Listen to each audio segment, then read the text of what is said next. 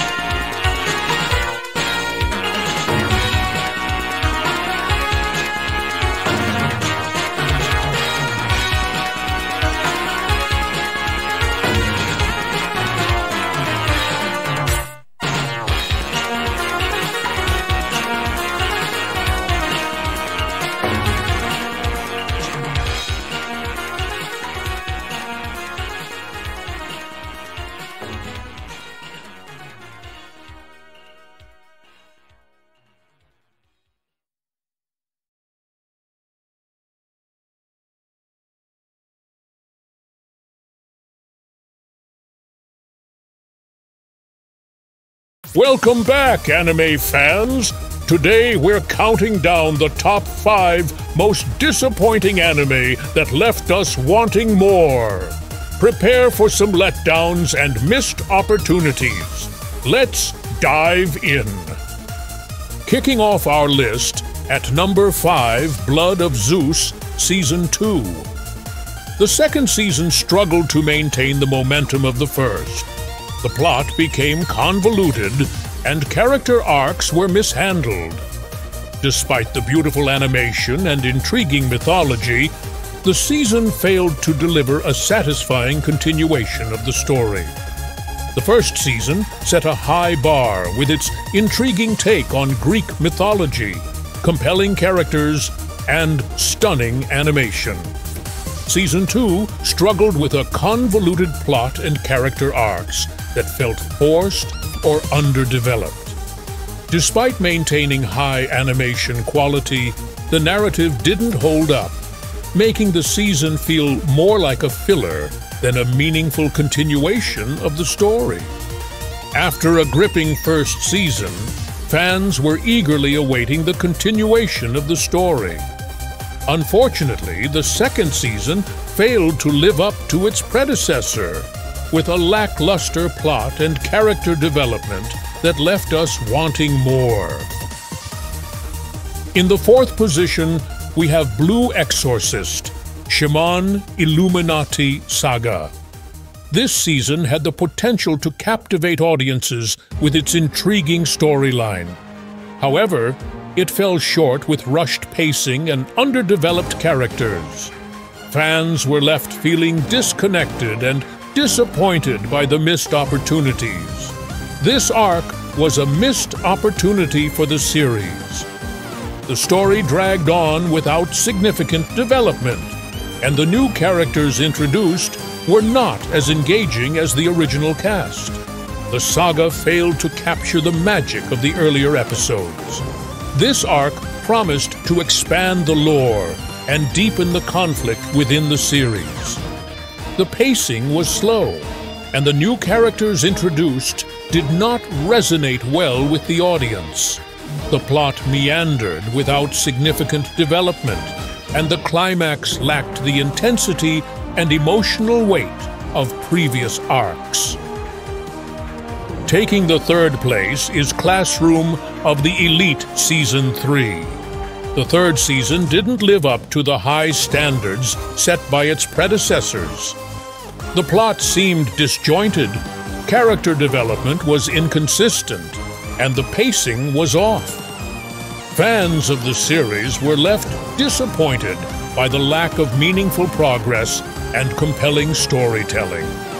Despite its intriguing premise and promising first two seasons, the third installment failed to deliver on its potential.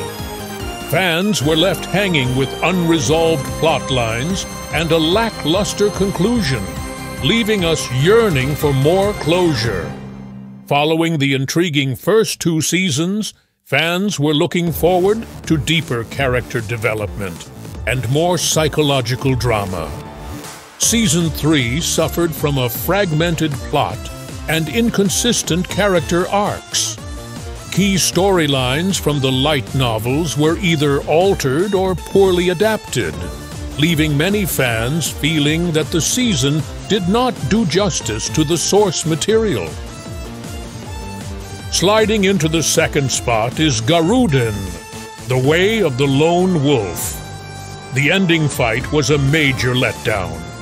After building up expectations throughout the series, the final confrontation failed to deliver the excitement and resolution that viewers were hoping for. It felt rushed and underwhelming. While the series had its moments, the ending fight left us wanting more. It lacked the intensity and emotional payoff we had been invested in throughout the series, leaving us feeling unsatisfied. As an adaptation of a beloved manga series, viewers expected high octane martial arts action and a satisfying conclusion. The final fight, which should have been the highlight, felt rushed and lacked the emotional and physical intensity that the series had been building up to. The animation and pacing issues further detracted from the overall impact. And finally, Rounding out our list at number one is the highly anticipated clash between Baki Hanma and Kengan Ashura. With the intense build-up and high expectations, fans were left disappointed by the execution of the fight. The choreography and animation fell short, failing to capture the epicness we were hoping for. The showdown we all anticipated fell flat. Despite the promising premise of pitting two iconic fighting anime against each other, the execution was lackluster. The fight scenes lacked the intensity and depth that both series are known for, leaving fans wanting more. Fans were eagerly anticipating this crossover as both series are known for their intense, brutal fight scenes and unique characters. The animation quality didn't live up to the hype, and the fight choreography was not as dynamic or engaging as expected. Additionally, the storyline seemed forced, with little build-up or context, making the clash feel superficial. These are my top five disappointing anime experiences so far. What are yours? Let me know in the comments. Don't forget to like, share, and subscribe for more top 10 anime videos and games or the seven deadly sins as crossover characters or poems. And there you have it, folks. The top five most disappointing anime that didn't quite hit the mark.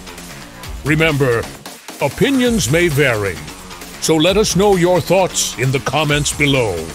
Don't forget to like, subscribe, and hit that notification bell to stay updated on all our countdowns. Until next time.